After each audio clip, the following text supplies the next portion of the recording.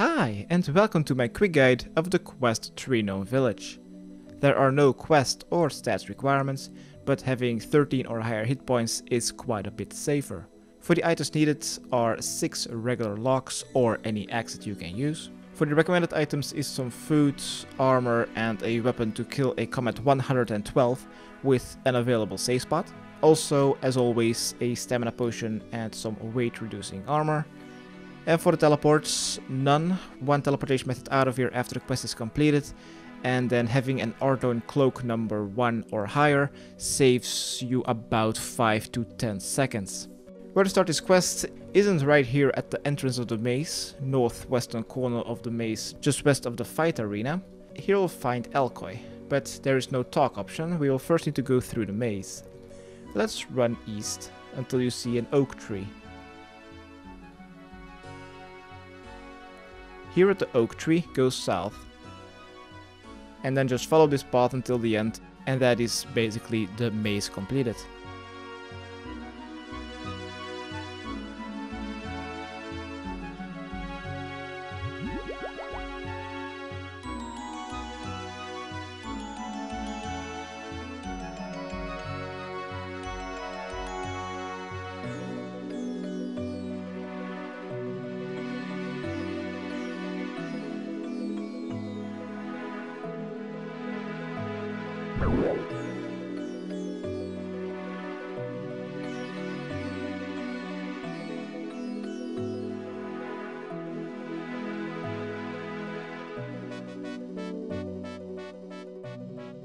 Once you have made it to the end of the maze, let's squeeze through the loose railing and run east to the big tree and the quest sign. Speak to King Bolren and select option 2 and then 1.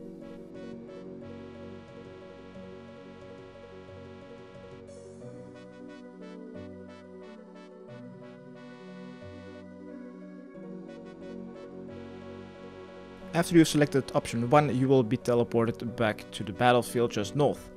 Let's go to the battlefield, run northeast, and we should find a gnome with a red hat. Talk to Commander Montai and select option 1.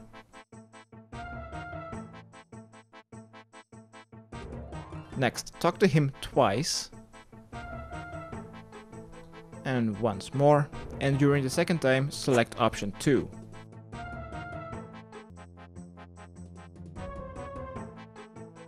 Next, run north, northwest and cross the most western bridge.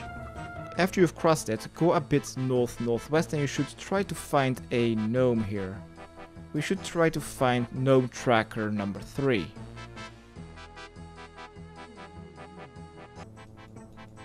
Yep, finally found him.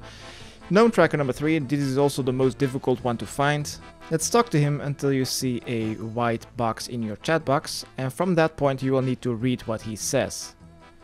Who holds a stronghold, that's not important, but afterwards he will say one out of four things. What he says has a corresponding number. I will put those on the screen right now. And remember your number that the gnome tracker has told you, or just write it down in your chat box. After talking to gnome number 3, let's go north Keep going north, and north of this bigger building, you'll find Gnome Tracker number 1. Let's talk to him.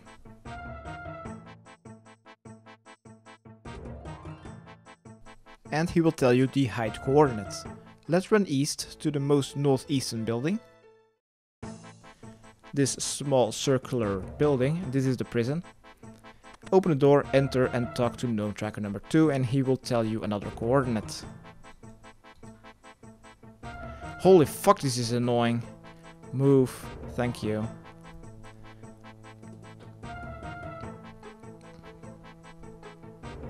Alright, next, let's return to the most western bridge by running southwest, south-southwest.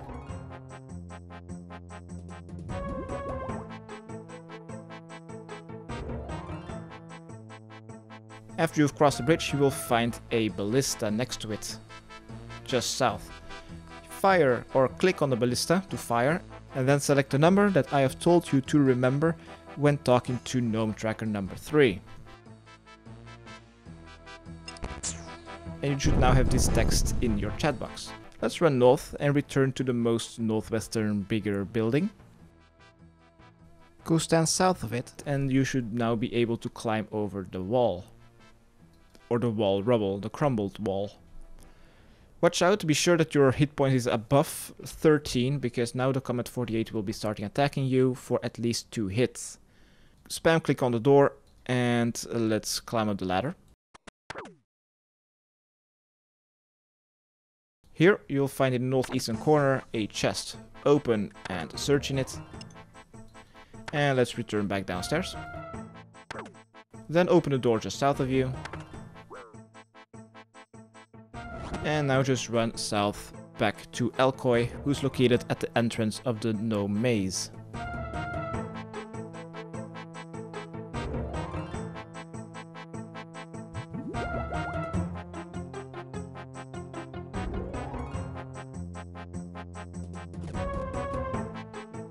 Once you're back at the northwestern side of the Gnome Maze, let's right click on Elkoy and follow. And this should get you all the way back to the village. Let's return this orb to King Bolren and select option number 1.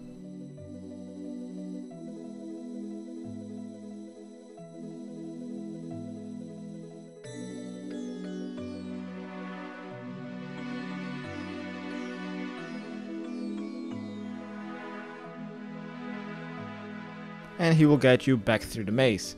Next, let's return north and let's return to the bigger northwestern building. From that bigger northwestern building, we will need to keep running north until you hit the West Ardougne wall. We will need to follow that wall westward.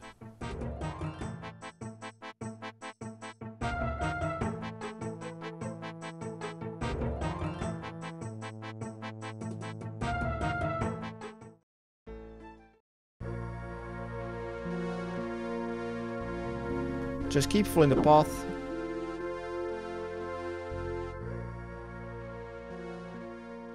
Passing the combat 64 wolves and he will find 3 NPCs. Attack the combat 112 Khazard Warlord, but first you will need to talk to him apparently. And then run south as fast as possible when he starts attacking you. Attack him,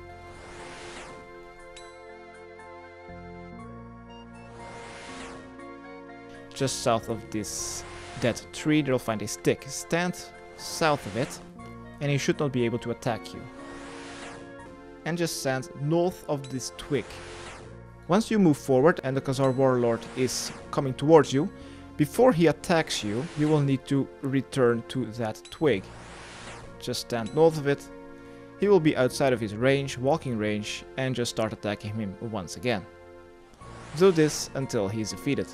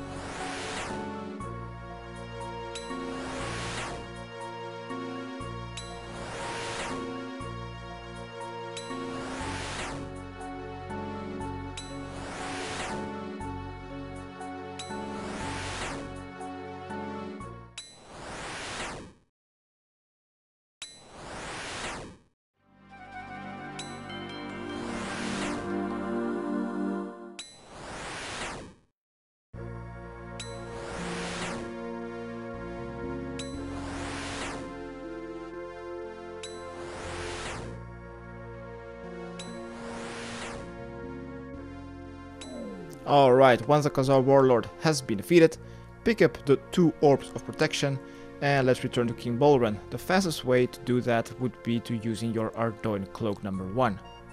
And then just run west back to Elkoy. If you do not have an Ardougne Cloak number 1, then you simply have to run back passing the combat 64 Wolves.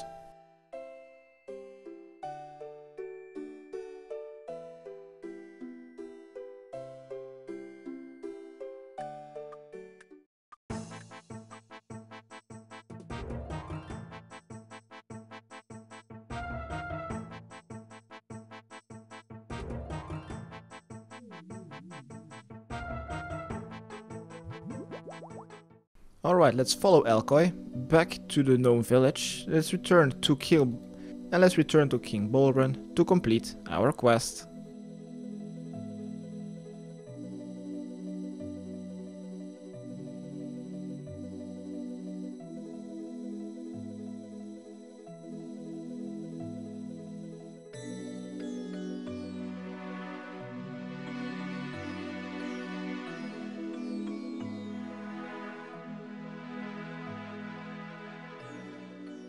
And congratulations, you've completed 3 Gnome Village quest.